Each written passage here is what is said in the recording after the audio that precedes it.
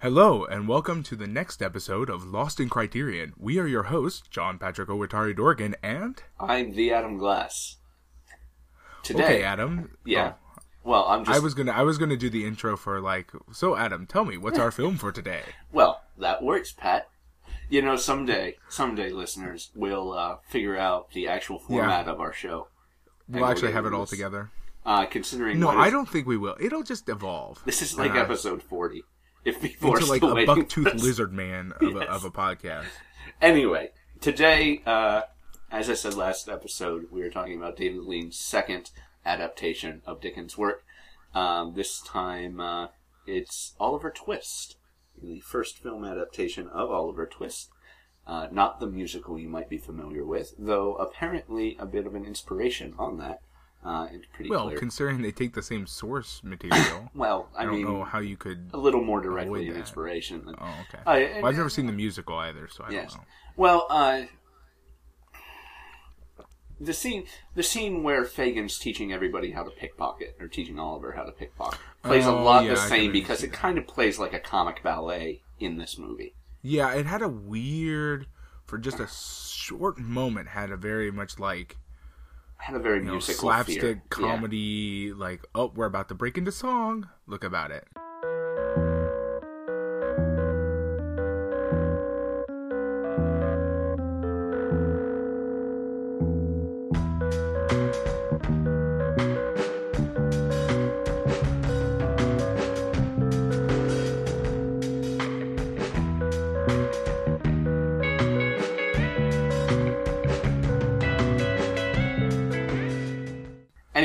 Uh, last week uh, when I was when I was saying that this was up, and I was talking about uh, we had been talking about how great, great a uh, adaptation of Great Expectations that movie was. Um, I said that we'd probably end up having a very similar conversation this week. But as it turns out, I, I really I wasn't even thinking. I've never read Oliver Twist. I don't think you have either. Me neither. No, Yeah. I have not. Um, so my familiarity with Oliver Twist is uh, is the musical Oliver and uh, the uh, the cartoon adaptation Oliver and Company about cats in New York City. Oliver Twist is for me at least one of those stories where I I know the plot, Yeah, but I don't recall having ever seen any Yeah. material, any recreation of it in it's any kind of, form. It's kind of a, a cultural uh, Right. memory, even to down to the names of the characters. yeah. It's weird. Well, it was I, I realized that. I The- was watching it, I'm like, I know what's gonna happen and I don't know why. Well, it, it is kind of a cultural memory in that the story was so popular at the time when it came out that, uh, you know, Fagin became the term for that member of the of the underworld community. The the kidsman is what they had been called previously. Uh, the guy who who recruits urchins. Um, they became called Fagins. So it, it had it had a pretty major impact, and obviously, you know, this is one of Dickens. Well, one of Dickens. Dickens had a had a tendency to to uh, you know very much show the nitty gritty of the real world for the underclasses, Yeah. um, and there was a lot of you know reaction to that. In is it really that bad? You know, so so in that too, it became I think. Um, but I talk about how we had talked about how, um, you know, there's such great adaptations. Less to to make a joke about how neither of us read this, and more I I want to get this out of the way to start because it's something that it seems a lot of reviewers ignore or try to downplay.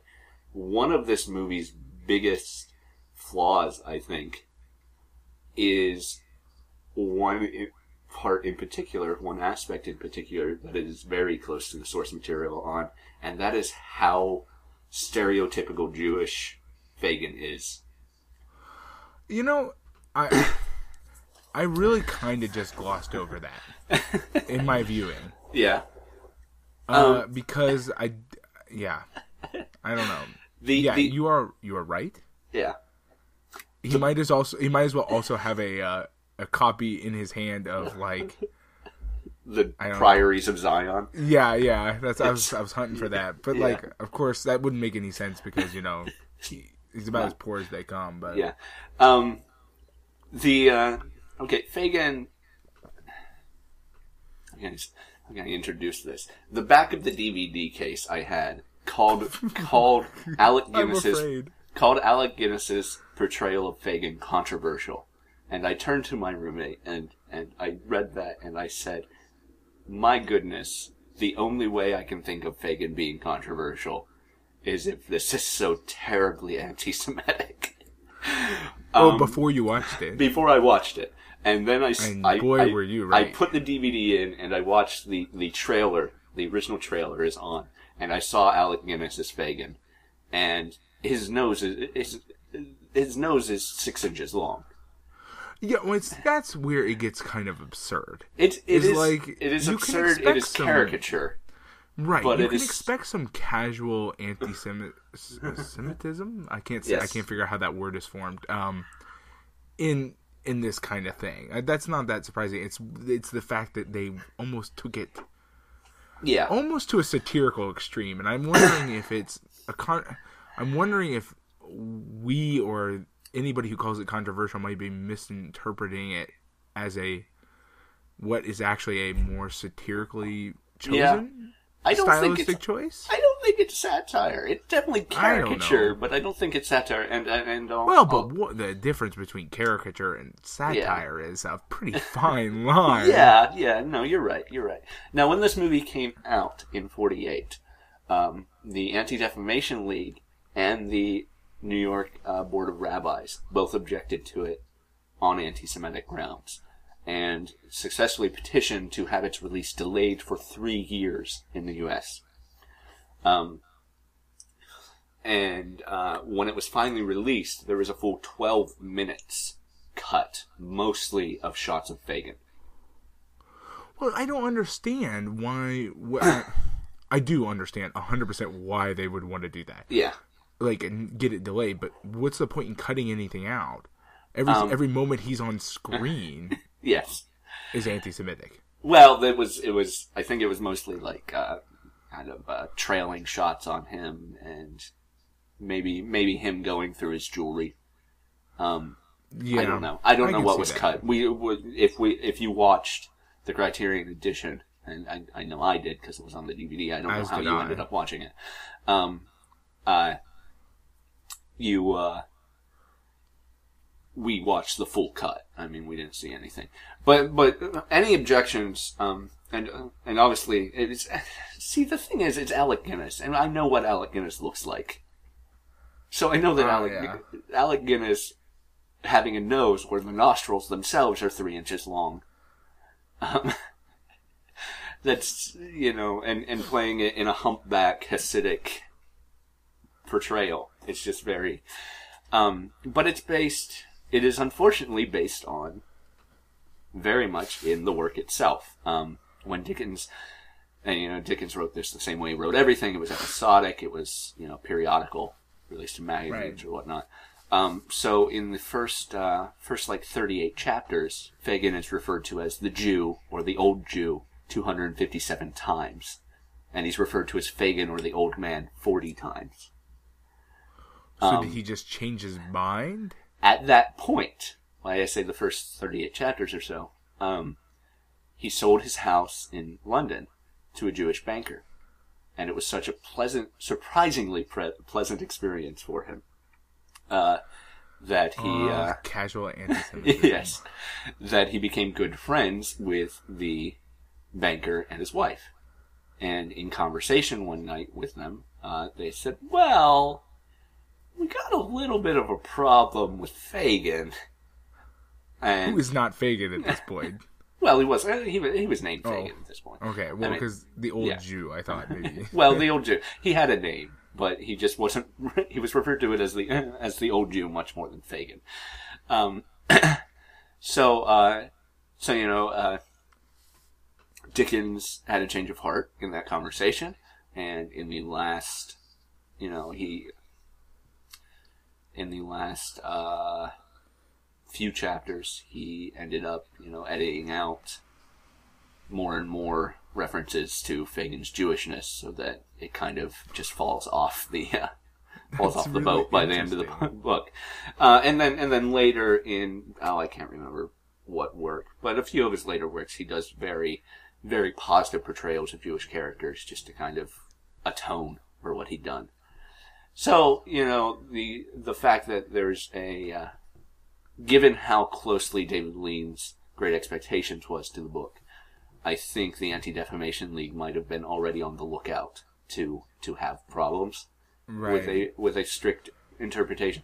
But Alec Guinness's character, uh, his his his makeup, is still still It's- very much over the top, and I cannot Yeah. I cannot as as much as what I just said them on the lookout for being offended might suggest no this mo- his his makeup is still very much in his Yeah, and it's weird because it's kind of unnecessary because anything that they wanted to get across to be strictly adhering to the book could have just been done with acting.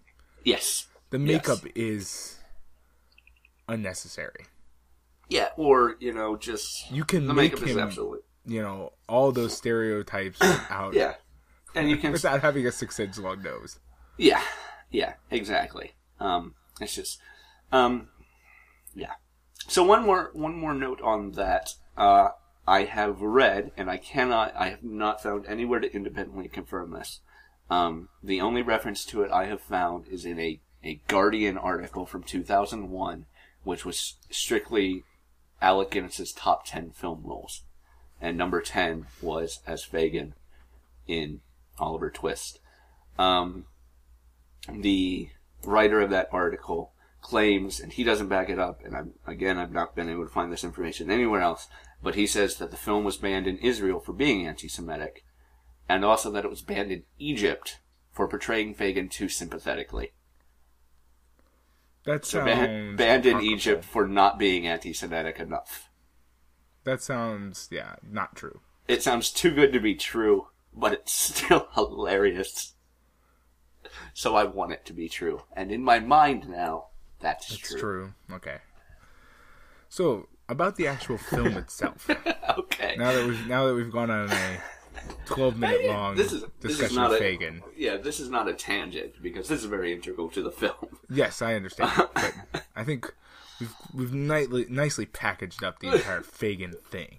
Yeah, yeah, He is hyper stereotypical. yes, he is. Stringy hair, beady eyes, long nose, holding A box full of money jewelry that he counts in secret by Yes. candlelight.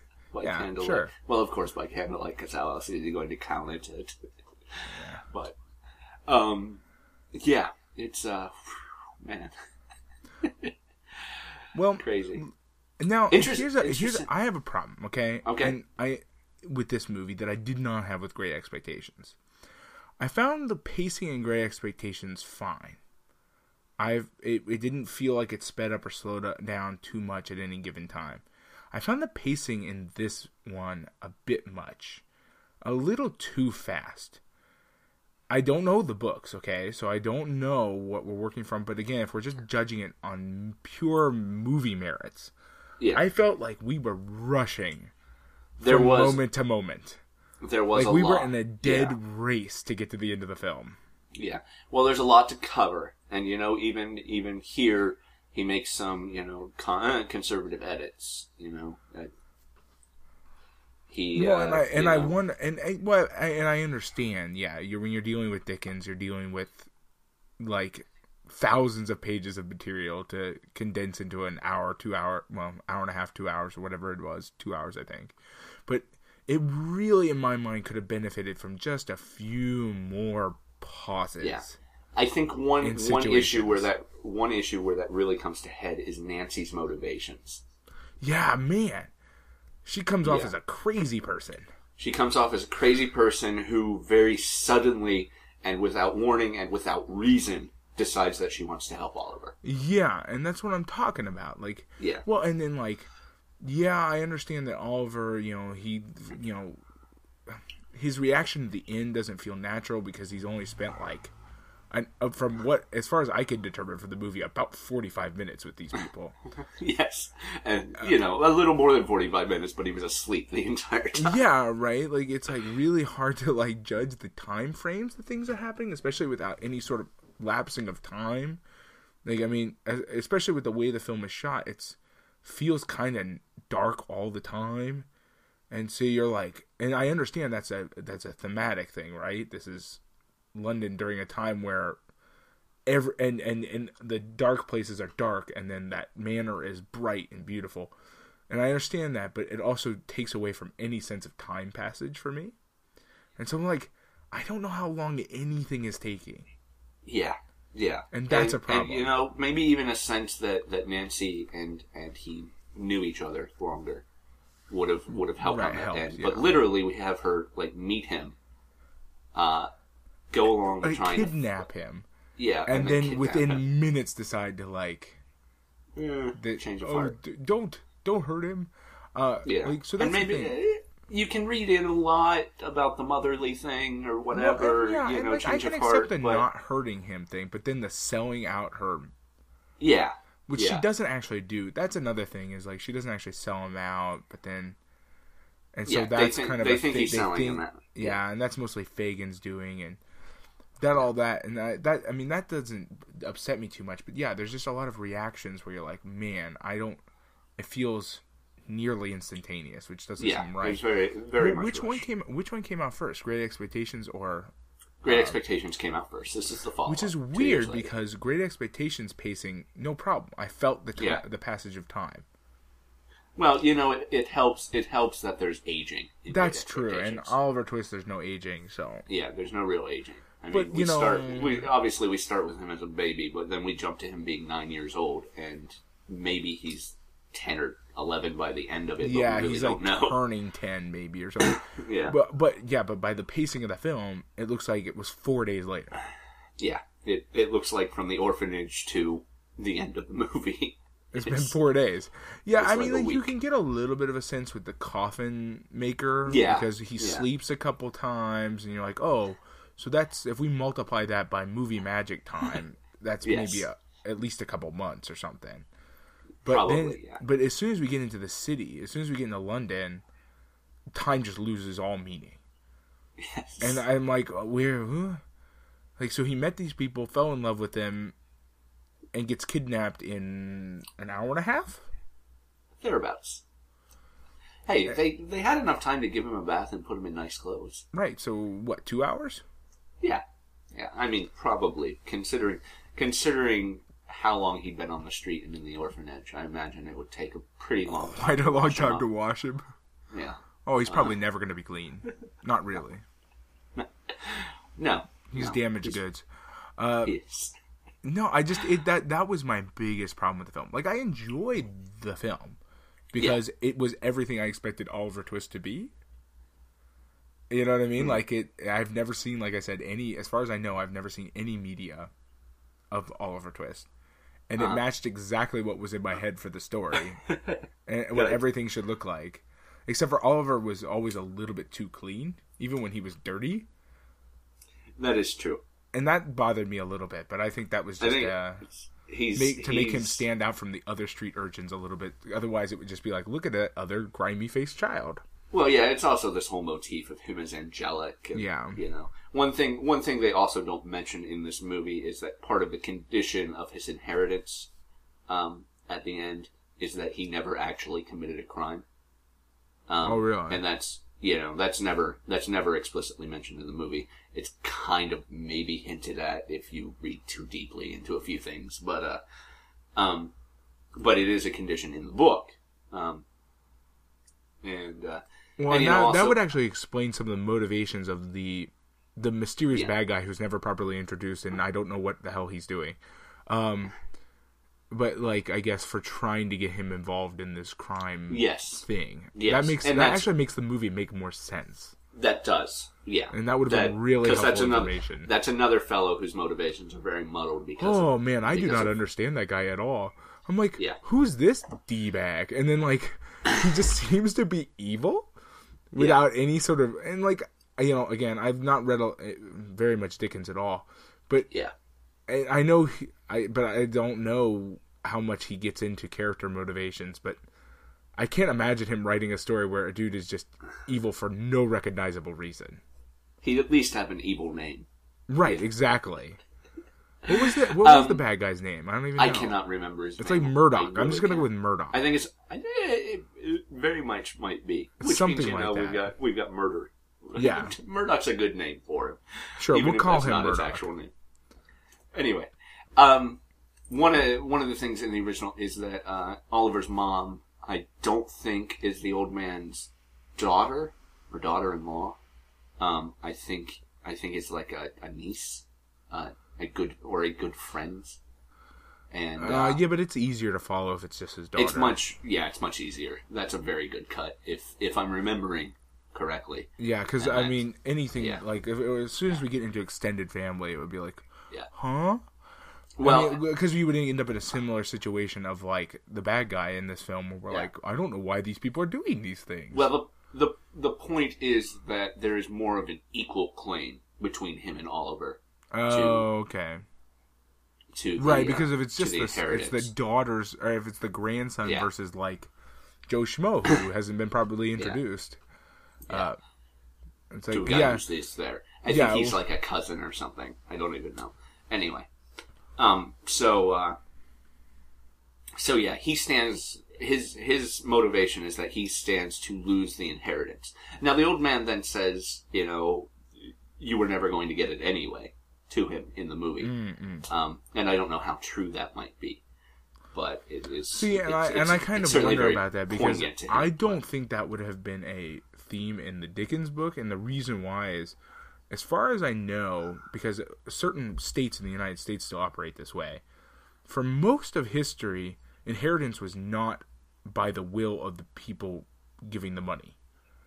Like, um, a lot of it was automatic Yeah, especially in more, uh, especially around these times. Like as far as I know, and I could be wrong, but I've, I think I've read something about it or heard it mentioned before that they didn't get to designate who got the money. yeah, I mean, they could set a will of what to do with the money and give some of it to somebody, but the point is, is that the au- that like it was not the law designates like gets yeah the money, right right exactly it would be the inheritance itself would go to the person that is set up in the law Yeah.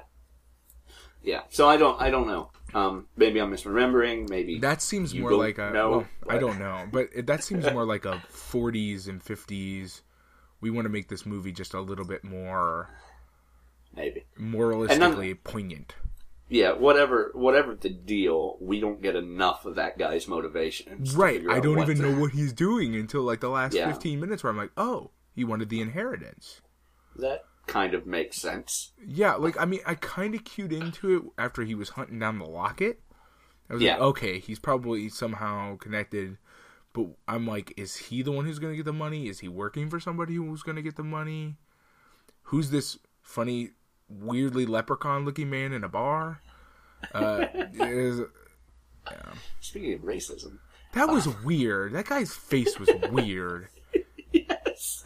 Yes it was. Uh Was he lot of- intentionally supposed to be an Irish stereotype? I probably Okay. um, maybe. Maybe it was also Alec Guinness. Every stereotype in the movie list. was uh, Alec Guinness. He does like to play multiple roles sometimes. I don't know. It was just, yeah. I felt if you combine the pacing with the fact that some of the characters are not introduced in a way that makes sense, Yeah. this was was not as good of a and go. movie as Great Expectations. Yeah, the fact the Like fact Great that we so Expectations, having watched Great Expectations, I feel like, oh, well, I've got it now. I know what Great Expectations. I didn't even need to w- read the dang book in whatever eleventh grade or whatever. But this one, I'm like, okay. I don't know why people are doing the things they're doing. Maybe I need to read the book. And then I think, oh my god, the book is two thousand pages long. it's, it's like 45 chapters. It really is. It's uh you know, they're they're not hugely long chapters, but they're still 45. Fill up my Kindle with one book. Yeah. Yeah. It is. Whew. Well, that won't that won't quite happen, Pat. Let me Yeah, explain considering the file sizes. and- that, that like the it would be maybe 80k. It was Yeah. A joke, Adam. I was using hyperbole. Pat, what's hyperbole? I don't know. The hyperbole, Pat. right. It's a, it happens every year right after the Super Bowl. Yeah, it's where the the winner of the Super Bowl plays a match with the winner of the World Series. and and the World Cup. And Yes, one giant yes, free for all of, of basketball from the fi- Well, they from the flip a- hit film they- Basketball. they flip a three sided coin to figure out which sport they're going to play. That would be Uh-huh. amazing. Three sided coin? Yeah, that would be amazing. Well, you can get a three sided die. They exist. They've been in use Oh. since uh, Egyptian times. As very you true, know, I do know. why I paper need to tell you about it. Speaking of dice, did you hear that like the possibly the oldest sided or oldest twenty sided die was discovered? No, I did not. Yeah, I, I can't remember the details, but it was carved out of stone and it definitely Well, has thank 20 you for- sides. Thank you for mentioning it. Then. No problem. Well, you know, I don't have a lot to say about it Oliver Twist. Well, um, cinematically, I'm waiting for you to lead us to just the like next bit. yeah, you know, cinematically, just like Great Expectations, a very beautiful film, a very, very expert use of shadow and But of, I- of light. Again, I also think the Great Expectations was prettier. Yeah. Maybe Well, because I of the think- open air elements of the design. You know what I mean? Like the, the Maybe, setting is so open air, it works very well with those his style. Whereas Yeah. this one sometimes was almost t- too tight in. Everything felt, Yeah, well, with the shadows and stuff. It's like Being in London, being in London, it's a very tight. yeah. I'm not gonna lie. I also watched it on my phone, so that could have something to do with it. That might have something to do with the tightness. Um, But I held it really close to my face. yeah. Oh, you know, like like in like in the opening to Great Expectations, we get almost a, a, a sort of horror movie setup with the storm and the woman running uh, through the marsh. yeah, which by the way, that was really weird too. Like yeah, again, the setup of Great Expectations felt a little more natural. This one felt like yeah. this one felt like a soundstage. Yeah. Well, that's I think I think because uh, the soundtrack here was very quiet, especially compared to the rest of the movie. Um, you know, we just kind of had thunder. Um, Yeah. And and even until until she's giving birth, until she gives birth, really the first thing we hear is Oliver crying, and that's five ten minutes in. And but I can accept that as a as a choice. I don't. Yeah. I, just something about that scene didn't feel as smooth and as natural as Yeah. Great Expectations. I mean, like Great Expectations, you could see we were on a soundstage many times, but it didn't Mm-hmm. Yeah. feel like a soundstage. Whereas this Yeah. one, I was like, "There's a lady running in water on the soundstage." Is what it felt like. Who's this lady? The, and the sets the sets felt a lot more like sets. yeah, in this movie. Uh, one thing, one thing in that first scene though that they did, I think, better than Great Expectations is when the uh, when the porter or whatever comes out to let her into the workhouse, and he's got the lantern. Uh, Yeah. If you'll remember in Great Expectations, every time someone was lit by candlelight, They had a were actually spotlight lit on their by a face. really terrible bright spotlight on their face. Uh, the the lantern light looked a lot more natural. That's this- true, but I, at the same time, when she read the thing, I kind of whenever somebody rings a doorbell or a bell to summon Yeah. somebody in a movie, my brain automatically goes into count the seconds mode. Because I always find it amusing that apparently every single movie where there's a porter has Igor for a porter. Because the Yes. man shows up in five seconds. Yes, like, was he quick. standing next to the door? Why couldn't she just say hello? Right. This is always a thing I do in every film, including doorbells too. I can't help it because it's like when in in the somehow in the movie world, everybody has. Have you ever read any of the um the Terry Pratchett Discworld? No, I books? have not. Well, um, whenever there's an they have a, a they have a Igor's are a or Igor. Sorry, I now I'm switching to Young Frankenstein for some reason. Uh, e- Igors are a like separate race, and they have this kind of ability to just show up behind somebody as soon as they're summoned. It's just uh, like a, some sort of weird built-in racial ability. And I every time I see a porter or something on TV, that's what happens. I'm like, I can't help it. and so I noticed it, and so I'm like, oh, they have an they have an Igor Yeah. on staff at, See, the, I know. the thing. I know how long it takes me to answer the door when the doorbell rings. Exactly, and it's not three seconds. It's not three seconds at all. It's where are my pants? Yeah, right. And like, hold on a second, I'll be down. and so I, Um, that always takes. I don't know. It's a it's a personal thing, and it has nothing to do with the film. But I did it anyway. But yeah, the lighting was better with candlelight in general. I would say. Yeah, yeah. Although Um, for some reason, I'm gonna call it crib. Fagin's crib was really bright compared to. Yeah. This Kind whole of this whole movie world. was a lot brighter. It was, Yeah. but it, it, like Fagin's felt like it should have been darker. Yeah. Like a lot of times, I was like, man, like That's What's that's very? Dickensian of you, actually, to think that Fagin's by by nature of it being a uh, a den of thieves. Well, well, but that's what like David Lean seems to go for in his films. Is like this is a dark place, both moralistically and visually. And Well, then for some it's- reason, it's also- place is not at all. it's also the first place that uh, Oliver's happy, I guess and therefore you get true. you get a little bit of brightness. But then with that, too. again, and in this film, we don't get a lot of chance to see him happy there. yeah, He laughs obviously in the manner time. in the manner he's also very bright, you know. But but it's it's white and clean, and you know. Yeah, I so you mean, have- I think this place is dirty. but- I just felt it should have been darker. Yeah. I don't know. Great expectations. Great expectations is a movie that takes place in the dark for the most part. It Yeah, is- and I is- like that. I felt that was thematically good. and and yeah, um, and and the fact that the house is all shut up, that it it is by its nature very dark. Um, whereas this movie, this movie takes place.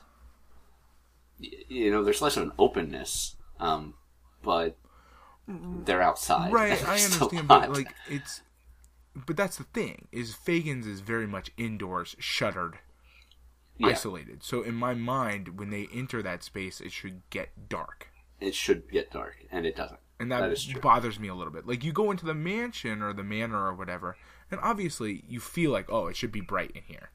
Although they may take it to extremes, I, I a little bit. It was a bit much. Oh, I was like, is this Gaslighting is very it was like is this manor in like a field like 300 miles away from london i don't it, it Yeah. didn't feel like it was even in the city somehow but um Well, I think there, I think there might be two separate houses, and we don't get a feel for that. Oh, okay. There's like his manor home, and then there's the city when they first find him, and when You they think send those are him separate to the bookseller. Maybe, Oh. maybe I don't know. It's not really that clear, and that's kind of a problem too. because like literally when i was watching that i felt like somehow the manor house was in georgia Well, maybe it's like uh, maybe it's like Wayne Manor in every Batman movie ever. It's it is simultaneously two miles from the city center And and, the forty middle of miles outside of Gotham yeah City. right and somehow yeah it has 14 entrances that are all in like vastly different locations yes, hidden on the beach, under a waterfall, in the woods, and yet, uh, somehow this is all yeah. all one estate, still subject to the taxes of Gotham City. Yeah, right. Uh, yeah, yeah, I can accept this as Wayne Manor. Sure. Okay, Yes. this is Wayne Yeah. Manor syndrome. this is Wayne Manor being run by Alfred because that's what the guy looks like. Yeah, I I like the grandpa. And he was he was Uh, Yeah, he he played he was very nice in his part. He was just so congenial looking. um, one one thing that that and you know we talk about the speed of this movie. Um, one place where that is very evident is is you know anytime speed is very evident. It, the chase scene through the streets of London. which I was very happy. I was very happy to see uh, our our chase scene participants crash through a fruit stall. Yes, right? I was like, wait, what? Who did that? Why? They're running. That doesn't even make Yeah, sense. no, that, it was beautiful. I kind of like the way it ends. As much as I am against child abuse, that amused me. That we end in that guy's fist, and then it goes dark. That was kind of that was kind of awesome. Yeah, no, it's it's a great way to end the scene, uh, despite the fact it's our main character getting knocked Right, out. and I mean, that's a problem. and he's and he's a ten year old child. right, right, and this guy is so proud that he just punched a child in the face, which also is amusing. I, I- I mean, that that little scene is yeah. That's uh, that's Victorian England for Yeah. you. You can be very proud. Be very proud, pride street urchin in the beating the hell out of a child. Um, I like the orphanage scenes, uh, especially in that our establishment of the orphanage pans across all the walls where it's painted "God is just, God is good." Yeah, I like that. Um, that was that was that's, nice. that's their wallowing poverty. That was, you know, that's not just that's not necessarily just lean editorializing. That's you know, that's the sort of thing That's Dickens would have done. That's the sort of Dickensian- Dickensian. yeah, that's that's the that's the sort of thing that would have happened in reality. You know, people talking about how, you know, even even more so than today, Oh, the, yeah. the idea that the the elite are are somehow more blessed or somehow more virtuous, uh, just by nature of having the money. Yeah, and and well, and I think there was there's I mean, that goes back to the Calvinism. Other that's- Dickens things I've read. There is a certain bent towards that, almost kind of like Yeah. that juxtaposition between yeah, putting children and or it's- somebody into abject poverty and then like telling them how Yeah. wonderful God is in the in Yeah. the basically And the same the- breath. Yeah, yeah. It's uh, you know, it's played. It's always played for irony that these people are are our bad people talking about how God is just to to make them rich and this guy poor. Yeah. But uh, you know, it's it's always it's still fun to Although. I out. really like the scene where they're watching those guys eat. I thought that was an amazing scene. Watching That's- those that's these these very these guys just these I guess I don't know if they're supposed to be like the heads of the orphanage. I'm not I assume you just know. just animalistically tearing into this food. Yeah. While the kids it's watch. again completely unclear why there are so many people involved in that. it's Yeah. not. It, it's it doesn't it doesn't seem like it's a staff dinner because everyone's very well dressed. It, it might be the board of trustees or something. Yeah, it's a but bit it's a bit weird because the women don't seem like they're dressed to match the men. yeah, The women seem to be like the maids at the place, and the men Yeah. seem to be Yeah, the that could be board of directors. It's weird. It's confusing. Either way, though. well, the nurses the nurses probably wouldn't have dressed that that. that Yeah, the- it, I the think that it's weird. The marms. Yeah, it was a I bit just like the word odd, marm. it, Yeah. it it it did illustrate the point quite well, and I enjoyed it. Yeah, yeah. Um, another scene where where the lighting was really great uh, in my mind. Um, I already talked about the Only in your mind. Only in my mind. No, no, the lighting was really great uh, when they tell him to go sleep in the shop uh, when he first gets to the Undertaker's Oh house. yeah, Your bed, your bed will be under the counter. It's through this door. Go in, and and they send him in with just a single lantern, and into know, a room see filled with coffins. we finally we see the reveal of the coffins everywhere. yeah, I, that's a good Uh, scene. yeah, yeah, you know, it's it's it's very this this movie. Um, this movie plays very well with this sort of childlike wonder. We experience things as as all. Yeah, it does a very good them. job of that. It, well, it's weird. This Yeah. movie is a And lot. again, of, the source material. this movie is a so- lot of very good scenes, just in my Yeah. mind shoved a little bit too close together. No, I think you're absolutely right. Like Um, every individual scene is wonderful. There's not any that I really think like, oh, that was s- stupid or I didn't like that. Except for Yeah. yeah, not really, no. But but like just no spacing between Yeah. them. Yeah, I can't think of an individual scene where where I didn't like. And looking looking through my notes, it's a bunch of oh, I really like this scene. Oh, I really yeah, like that's I mean that's my Yeah. memory from watching. It's like, oh, every yeah. I mean, it, everything was great. It's just not paced well, and just and a few other minor complaints about just we're not we don't develop the characters in a way that makes us know who they are Yeah. and what they're gonna do. Yeah.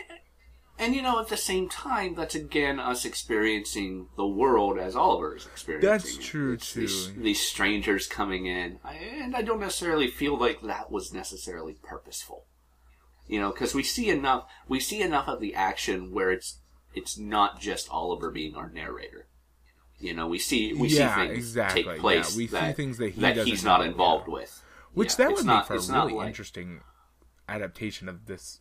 to see just to see, see it it only from, from his him. perspective would be very fascinating. Uh, speaking of really interesting, uh, really interesting adaptations, just on a quick side note, uh, Will Eisner wrote a graphic novel called Fagin the Jew, uh, which is really great, really, uh, and it's it's it's basically the story from Fagin's perspective.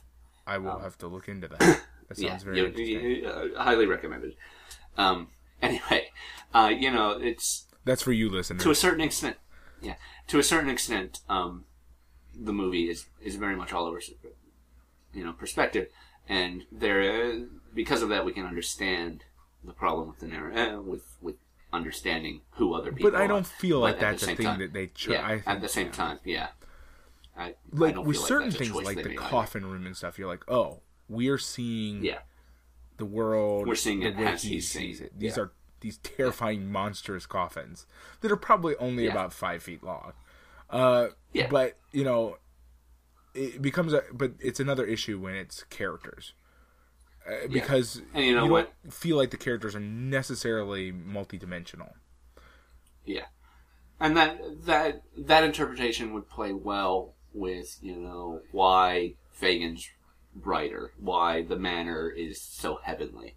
You know, it's it's it's the happy times and they're Right. brighter, and that and the not so happy times are darker, and that's you know that's fine. Yeah, I can You know, accept that, I too. can understand. I can accept that they did that on purpose, but but the characterization I can't.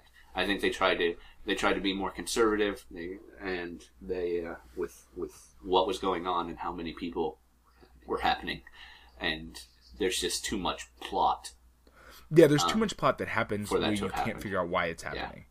And that and that so it, it's a beautiful movie with a kind of a little bit shoddy Yeah. writing.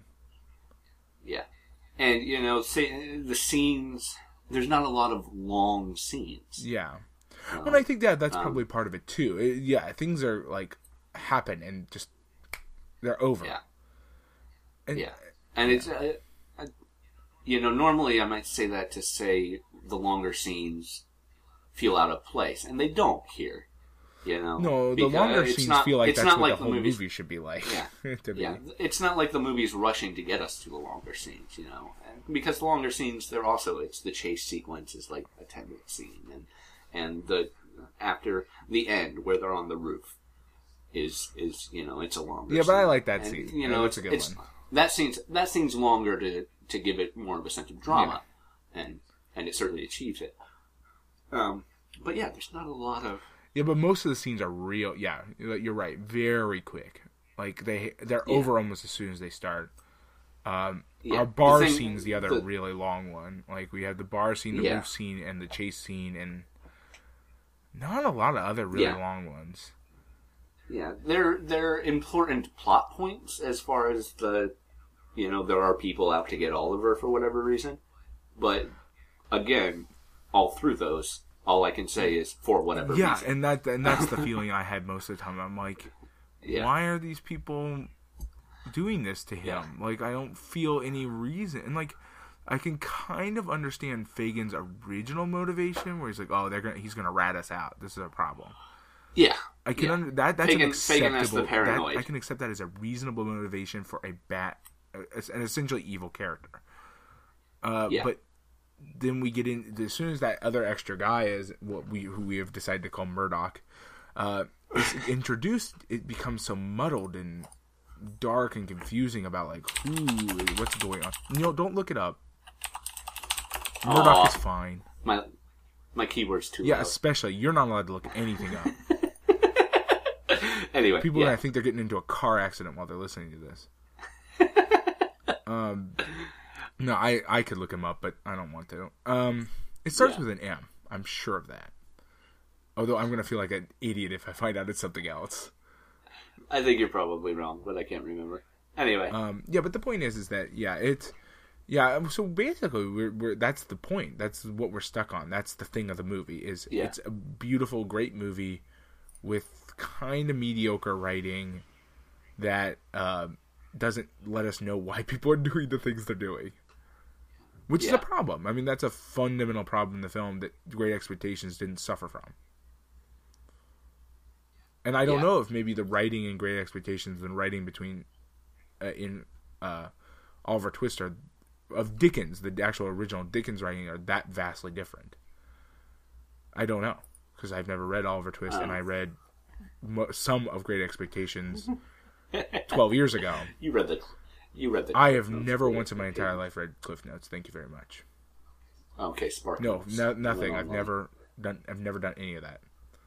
I skim, and then talk to people. Oh, I make. I, I make Adam tell me what happens in the book. I think that's I, I did that several that is- times in, That is high in school. high school. That yeah, is- yeah. um, I don't like I don't like being forced to read. I'm fine if I do it on my Yeah. own, but don't ask me to do something because you want me to do it. Um,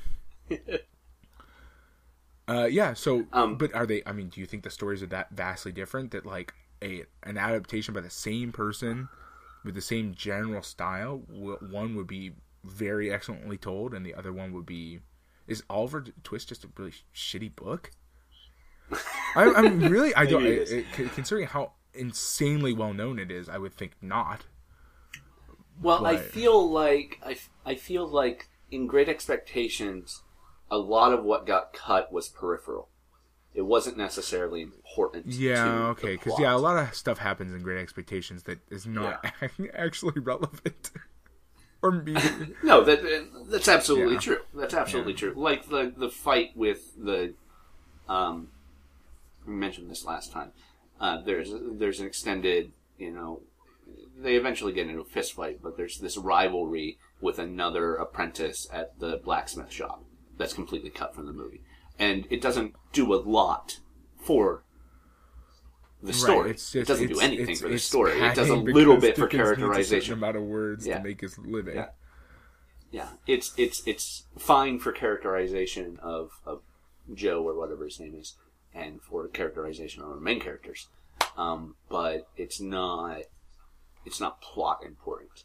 Unfortunately, Oliver Twist is a little tighter in its writing, in that Everything that happens, a lot of what happens a lot of what happens is kind of plot important Hmm. and you know it's a very twisty story you know but people there's conspiracies about his parentage um so it's it's everybody knows something or someone in this book there's no there's no compartmentalizing Right? of Yeah. individuals There's, n- things are all mixed up together and happening intercon- Yeah. in an interconnected way, and I can see Yeah, so you can't- that out as you can't just- happen to us in this story. Yeah, yeah. You can't just cut out a full compartment. Um, so because there's no full compartments, it's all one compartment. Whereas in Great Expectations, there was that sort of compartmentalization in a lot of. So I would were kind of in a vignettes. manner of speaking, that's one. What makes this not a great movie is what makes it that a better book, probably Yeah, because Yeah. you can't excise chunks of the book. yeah. It's it's harder to to accurately excise chunks of the book. And you know everybody who's adapted from Oliver the musical down you know to the 2005 Which adaptation on that had my- Richard Dreyfuss as Fagin. Which Um, I have on my my bookshelf and I've never watched. the the No, musical. the 2000 whatever 2000. oh, the 2005 with Richard Dreyfuss. You think? Um, I don't think I've ever actually watched the whole thing, so I, I I have a very specific memory of his face as Fagin, and he doesn't. He's he's Does he have a gigantic nose? Dreyfuss. He already looks Jewish, but he doesn't. He doesn't look as he doesn't look as caricature as Cruikshank's drawing. Uh, caricature as as Alec Guinness Right. does in this movie. Um, but yeah, uh, he still he still plays him as a Jewish character, and it's you know you can't really That's the source material. You gotta kind of. de- it's a defining feature, but you know you can't you don't necessarily need to uh, go fully down that rabbit Yeah, hole right. as as much as this movie did. Uh man, oh man. okay, so I mean, I guess we that's about it, right? I mean, like that's That's a well. One more thing, the dog was a really great actor. yeah. The dog did an excellent job. The dog did I- I an excellent there's job, a- cowering in fear and trying scratching to get Yeah, up. like dog's one of the better actors The dog- because like his motivations are so clear. It's true. He's a Yeah, dog. he doesn't want Yeah. to die. He's a He doesn't want anybody to hit He's him with a big rock.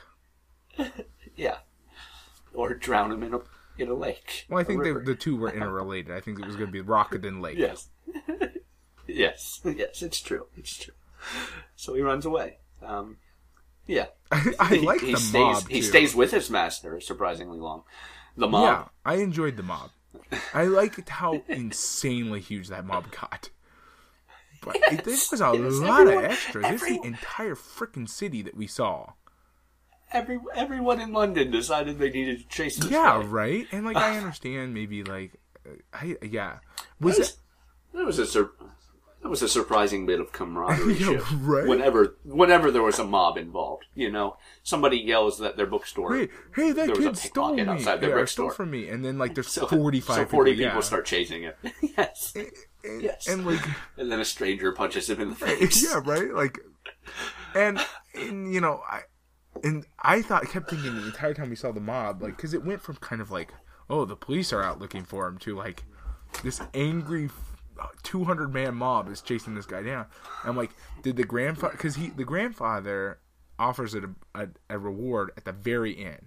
I feel like he maybe needed Yes. to offer a reward a little bit earlier to make the, to make the Well, then the then the mob would have been mob make more sense. then it would have been all of England. Right, right. 50, Terrible. 50 whatever it is, 50 pounds or whatever to the man who brings me the head of John the Baptist. No, wait, no. Um, I don't. I don't it's, a, it's a pretty cheap silver platter, actually. yeah, right? Yeah, I don't I don't know what a pound is worth. At this time. Anyway, yeah, let's not bother to look up No, the, we are certainly not looking at exchange rates. the history of exchange rates. All right. Um, yeah, uh, I think I think We've said everything we've talked about what. said, Adam. Yeah. Uh, so this movie, uh, it's too fast. Uh, Alec Guinness is too Jewish. No, no, no. and, Alec Guinness is, Alec Guinness is too, too 1920s caricature of, of a Jewish man Jewish. it's it's too. Uh, He bears no resemblance Yeah, to any Jewish too- man I've ever met. he is far far too European opinion of the Jews in the 40s. Yeah, right? Yeah, exactly. Which is terrible because this was 48 Right, and the European be- opinion of the Jews was supposed to have changed after uh, World War II. Yeah, I, I it really seems like he's he's more of a like a bad newspaper pen and ink drawing, like 1938 Nazi Germany Yeah. pen and ink drawing of a Yeah. Jewish. Uh, Of the conniving Yeah, Jew he is- always wringing his hands. and he's a 1948, and we've all moved on a little bit. So, Yeah, yeah. And that's that's one reason that it's especially bad, I think. and I'm sure that's one of the I reasons I- why I- everybody was a yeah. little bit upset when. Yeah, the Anti Defamation League definitely has has a good argument against Yeah. that portrayal. Do you oh, think? Do you oh, think David Lean's maybe just an anti-Semite, or is it Alec Guinness? maybe he is British? Nah, He didn't pick the yeah, makeup, probably. right? So I don't know. Maybe he's he like, did. he's like, he, he seems to oh god, now I have this really like upsetting throughout, image throughout his movies. He seems of him like showing up on set. Like he's like, uh, so here's what I was like. David Lean's like, so here's what I'm thinking. And he's like, no, don't worry, I already brought all my. he just stuff. walks in in costume. Yeah, like I already brought all my own stuff. I got, I had this stuff at the house. It's got the huge nose, the hair. I like to, I like to imagine I like to imagine Alec Guinness does that for all his shows up pre wardrobe and makeup. Yeah, he he actually built his own lightsaber. Yeah, right. It's, uh, Uh, he's like, Yeah. I made these robes at home. yes, this is just what I wear now.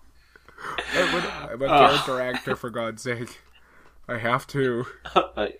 On that delightful image of Alec He is a madman.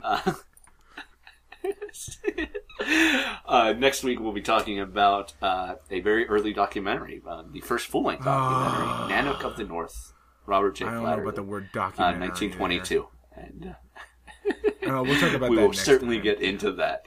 Yes. All right. Yeah, we'll see you next time. Thanks for listening. Bye.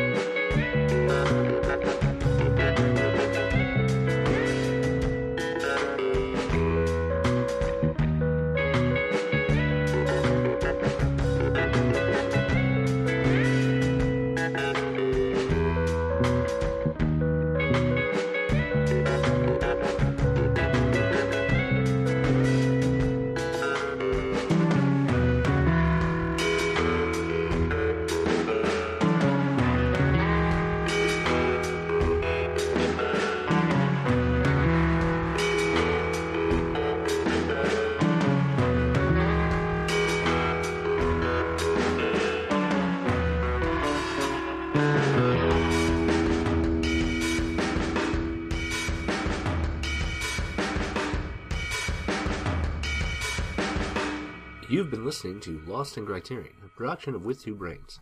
The show is hosted by Adam Glass and John Patrick Owatari Dorgan. Jonathan Hape did the music, and Adam Glass also edited it all together. Feel free to contact us by email via lostincriterion at with2brains.com or join us on the web at www.lostin